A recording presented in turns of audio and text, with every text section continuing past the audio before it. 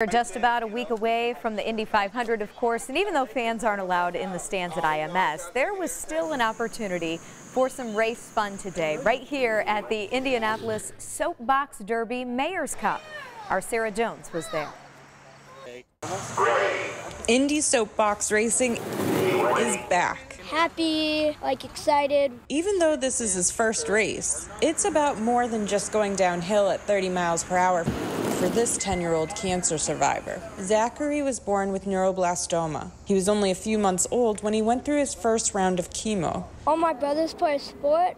I have three other brothers. They, they play baseball, football, lacrosse. I would always have to go and watch them and cheer for them. And now it's kind of cool that they have a sport, now I have a sport that they have to come and cheer me on. Zachary says he looks forward to sticking with soapbox racing. And in speaking with the returning pros, I've been racing for five years. It's easy to see why.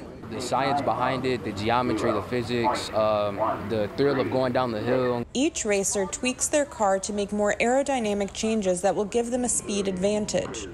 A soapbox car kit usually runs for around $500 or more, but this league actively works towards making the sport more inclusive. The first year we had eight cars, but we've grown that through the 20 year term to have uh, roughly 80 cars that we provide for these kids, give them the chance to, to race with us. And as for practice runs at Riverside Park, whenever the park's open, they can come out here and practice. The winner gets this trophy for a year and then gets a smaller trophy to keep. But this future scientist says the hands on application of science and math has an impact that lasts a lifetime. The geometry and the physics that helped that helped me apply the knowledge that I learned at school and soapbox and then from soapbox to school.